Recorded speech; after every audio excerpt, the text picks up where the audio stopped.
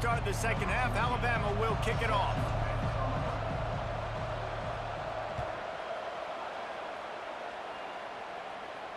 He'll call for the fair catch here.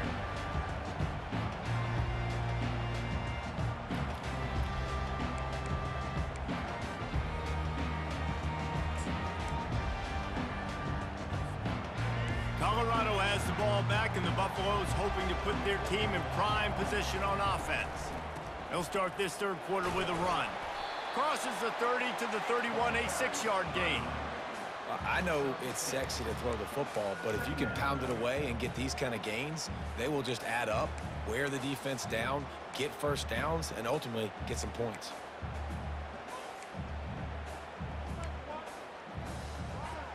Got six on first down. Now a lot of options on second and four.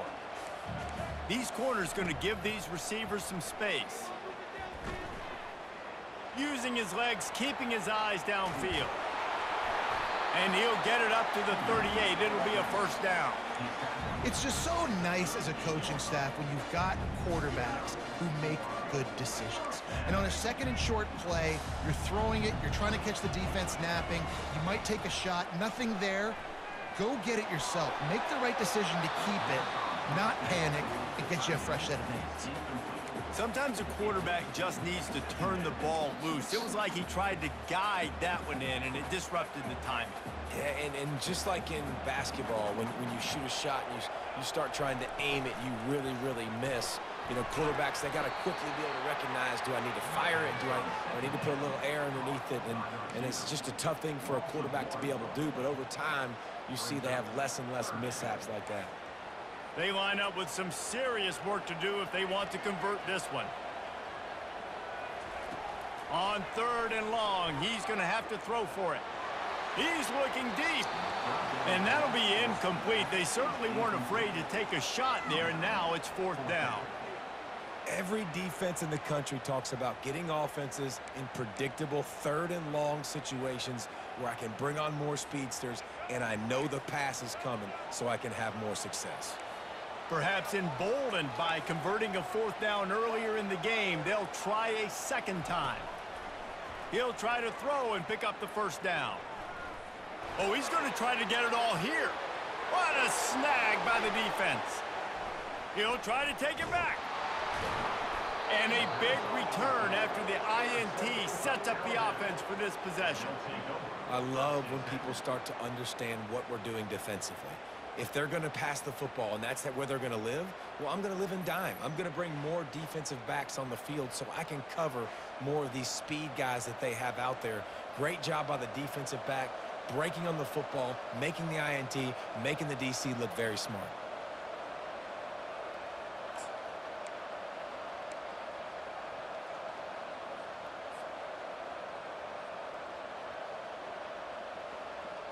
Here comes that Alabama offense.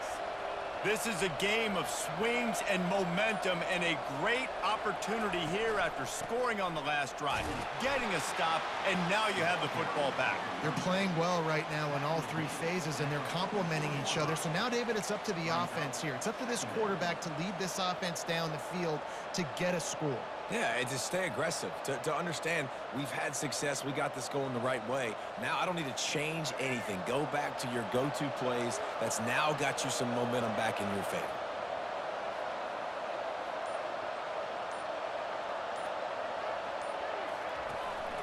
They'll go right back to him. At the 45 on his way. Really putting together a threat now. They get the first. It's at the 37. Here's this offense with a fresh set of downs.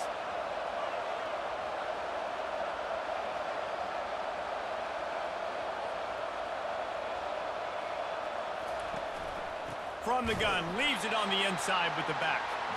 They bring him down, and he's going to lose a yard on that one. Lost one on that last one. It's second and 11.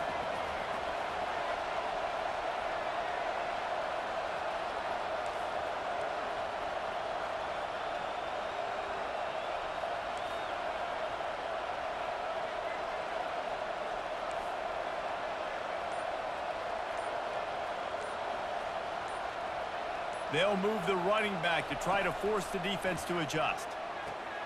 Finds his tight end. And oh, he was off to the races after the catch, and they finally drag him down. Alabama pushing the tempo. The transition of Alabama quarterbacks over the years has been fascinating from the dreaded game manager label to playmaker. To playmaker, to spread it out, to Heisman winner. I mean, that's how much this offense has changed and evolved, and they're going to be aggressive, and they're going to score points in this new age era. Quick timeout call by the offense after the play. Timeout, Alabama.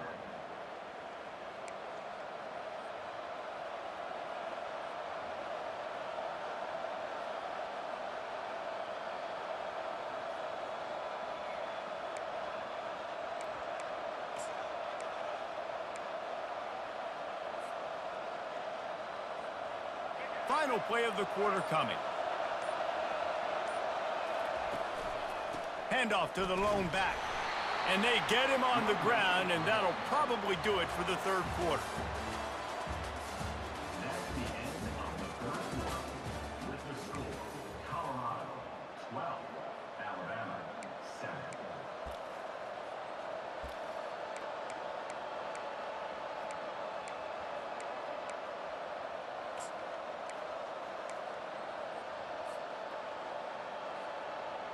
Second down here as they go back to work after the break. Wide receiver now comes in motion. They'll go to the ground. There to stop him after a pickup of three. It's down to the 15.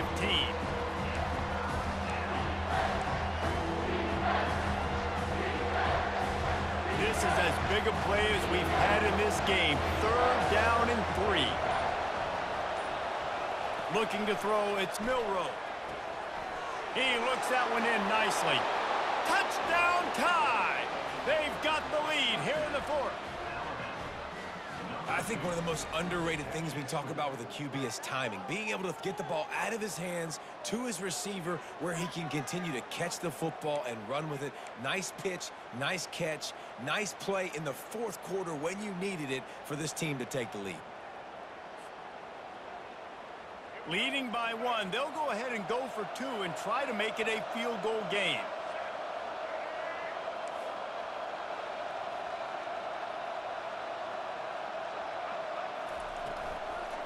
Trying to punch it in. I like the decision right there. You're winning by one. You're trying to go for two to make this a field goal game. Even if you kick the extra point, the other team kicks a field goal and they still got the lead. That was the right decision, just couldn't execute.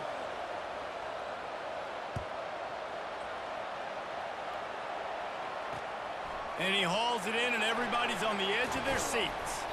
He was hoping for something a little more...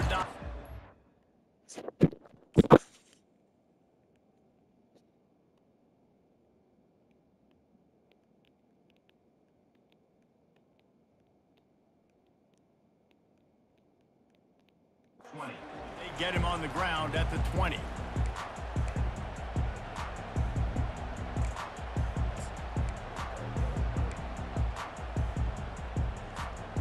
And the Colorado offense is coming back onto the field.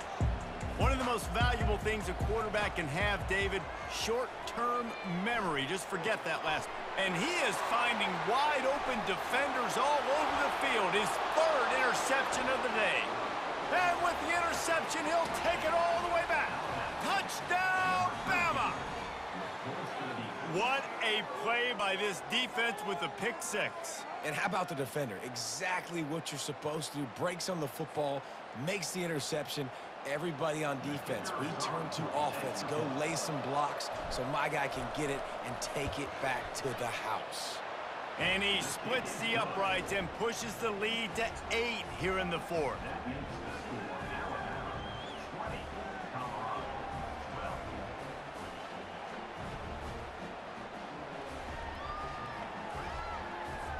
They're lining up to kick it off after the pick six, and that defense will come out feeling it.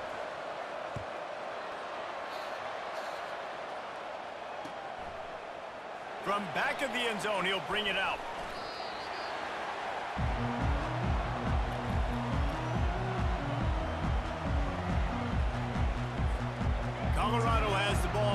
Buffaloes hoping to put their team in prime position on offense. Well, the good news is they threw a touchdown pass last time. It was just to the wrong team, Jesse. Well, that's an unfortunate part of the game for quarterbacks.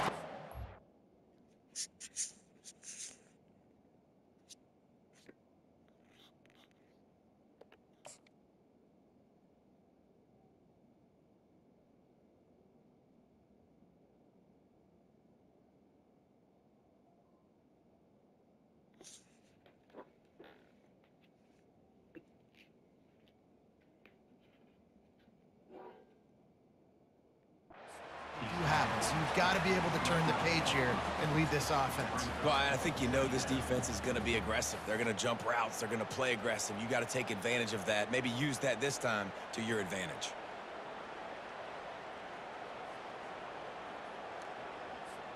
Second down here, and maybe they've got time to get one more snap off before the two-minute warning. We've reached the two-minute warning, and the defense needs...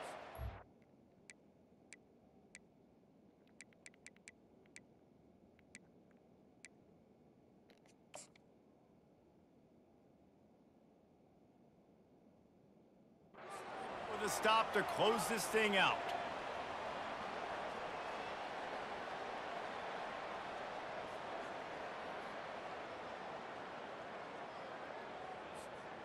Let's see what they've got on second down.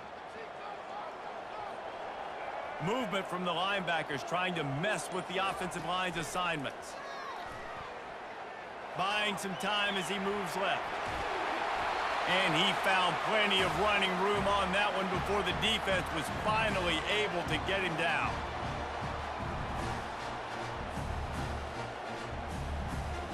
Maybe this will breathe a little life into this offense, which has been flatlined in the second half. Here's first and 10. Looking to move it through the air. He's going up top here late in the game. And is knocked away and incomplete the defensive back, staying in phase and batting it away. Well, this defense has had the QB's number all game long. One of the reasons why is because this cornerback, when he's on an island, he's winning the 50-50 balls, and he's not letting anything get thrown over his head downfield. Great job in coverage, disguising what he's doing and knocking balls away. Quarterback now breaking the field. He can't make the connection. It'll be incomplete. He can scramble but couldn't create anything there. Well, they've thrown two straight incompletions, and they, they just need to play pitch and catch on this next play. They're down a possession, and you don't have to necessarily get the first down right here, but if you don't get it, you've got to at least keep the fourth down manageable to give yourself an opportunity to keep pushing the ball down the field and give yourselves a shot to win. Looking downfield, it's Sanders. He's right on target. He's run out of bounds, but a big play on that one, and it'll be a first down. He knew exactly what they needed there, made the play, and got out of bounds to stop the clock. And you got to keep this turbo mode on, right? We got to keep going fast. The clock's running down. Fourth quarter neat. Throws toward the end zone. And they won't make the connection going for the big play. Man, you know the defensive coordinator on that play was holding his breath because in the fourth quarter, you got one of the fastest players in the game going deep on you. And that's going to be a helmet sticker for somebody. Like forcing an incompletion against that guy, that's incredible. After the quarterback and receiver couldn't connect, it's second and 10. He's looking to throw. He's not afraid to go deep. And he pulls it in inside the 15-yard line. They make the stop at the five-yard line, and they've got it first and goal. Really nice timing on that throw. Quarterback had to hold it, allow his receiver to work his route, but he threw it at the perfect moment so that he was able to make the catch inbounds right on the sideline. Wants to pass. Fires to the end zone. Another interception. This guy just can't find his own players. Big-time players make big-time plays in big-time games. Great job by the defense